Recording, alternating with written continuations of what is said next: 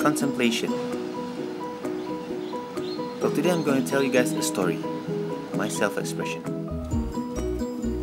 Well, first let's walk towards somewhere where I think I can think.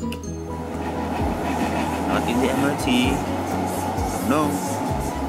Well, I think I'll just, you know, chill and take the bus so I can sleep inside.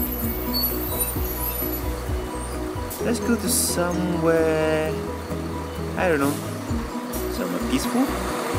Let's go. Here I am from inside the bus, looking out through the window, looking at cars overtaking me. Well, sitting by these two kids here with the family. And Well, the sky's looking great. The neighborhood's fine. I think I'll just, you know, go grab something to eat.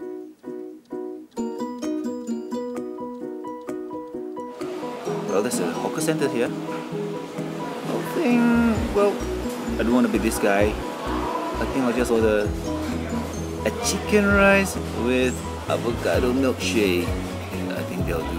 You know, you can't eat this, you can't drink these things often.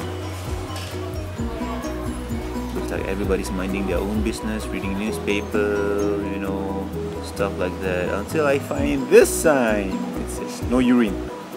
Well, the base indicates so. Have a nice day. Whatever. Now Stone sits on chair and the cat do what a cat does.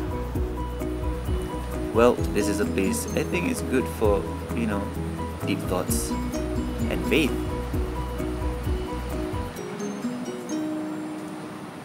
Well, there's no road without flowers by the roadside. So I think this is a new angle. Oh, look at that guy cycling, man. Okay, I think I just walk.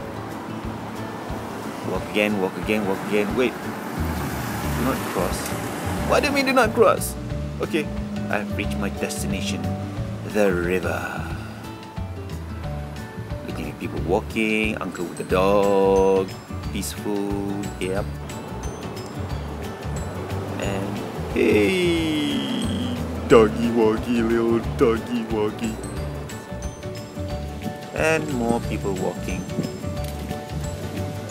Well, look at that. Fishermen fishing.